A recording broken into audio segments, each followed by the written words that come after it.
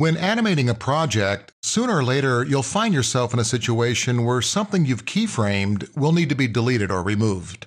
It happens all the time, especially when you're new to learning the ins and outs of how to animate. You've moved an object to the wrong spot, you've keyframed a light turning off when it ought to be on. Making mistakes is all just part of the process. When you've dug yourself a hole and need to back out of what's been done, you can.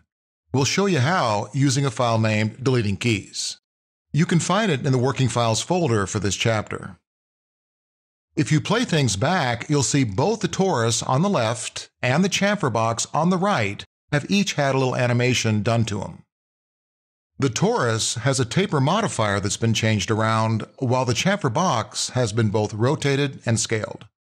Let's select each object individually and we'll take a look at their keyframes down on the timeline. Let's start with the blue box. You'll notice that the keyframes are being displayed in different colors. The blue color represents a scale key, while the green color identifies a rotation key. Both the boxes rotate and scale have been keyframed at frame 0.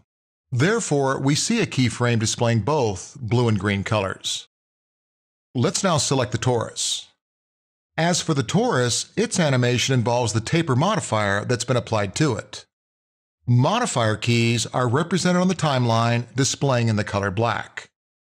So we can see taper keys have been set at frame 0, 50, 65, and 100. Okay, we're talking about removing animation by deleting keys. Let's start with the chamfer box on the right. The key that you see at frame 50 is designed to have the box rotate 180 degrees.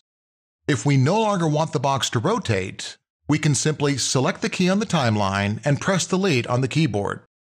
Removing that key will remove the box's rotation. Let's try that. Now when you click on the key, it'll turn white, Max's way of indicating that it's been selected. Once selected, go ahead and hit delete. Let's now play things back. Now the box still scales, but the details of the rotation have been erased from its animation. Now, you'll notice that we still have a single rotate key located at the first frame. This brings up a point. One key does not create animation.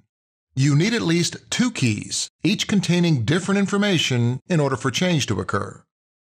You can have a key holding specific information about an object, but unless there's another key sitting along the timeline that holds different information about, in this case, the object rotating, that object won't rotate.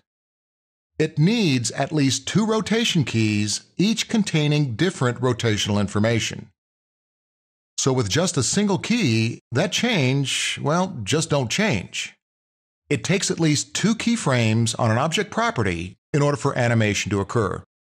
Let's go ahead and undo that keyframe deletion using the Control-Z shortcut.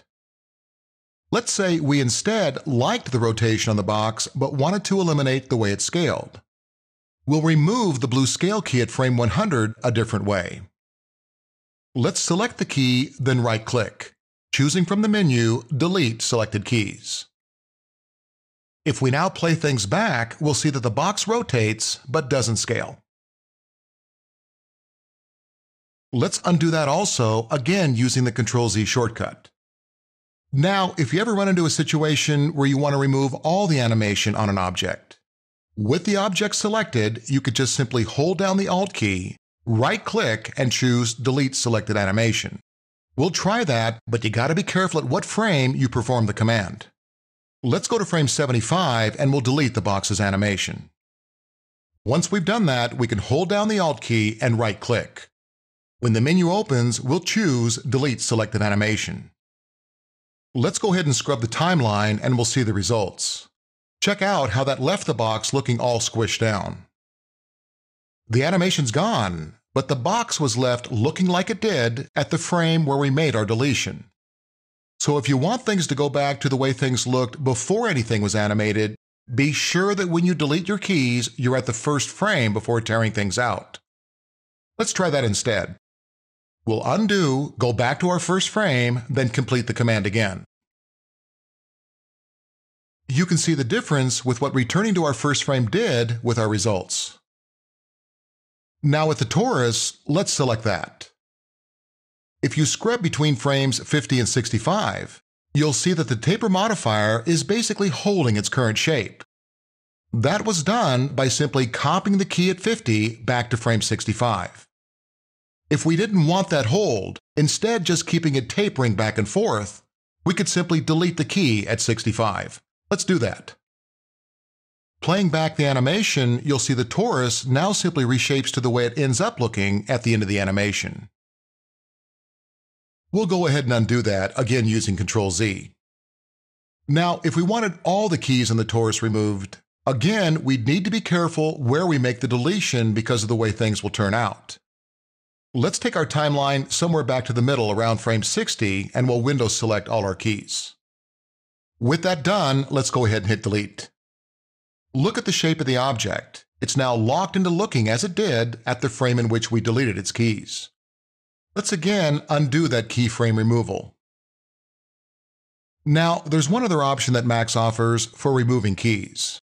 And it's designed to be used when you want every key of animation stripped from a scene irrespective of the number of objects that might have been animated. The command is found under the Application menu. Clicking on the button, you'll hold your mouse in the left-hand column over the word New. When the options open over on the right side, you'll choose Keep Objects. You can also, by the way, find the command on the Quick Access toolbar to the right of the application button. When the dialog opens asking you to save the scene, in this case we can say no. Notice that irrespective of where you were along the timeline when you cleared the keys out, the objects return to looking just as they did at the first frame, in other words, at the start of the animation. So there you go with a bunch of different options when needing to remove one or more keyframes in a scene. Now, you know you're sooner or later going to be messing up, so tuck those techniques we just covered away for safekeeping, knowing that you now have them in your bag of tricks when you need them.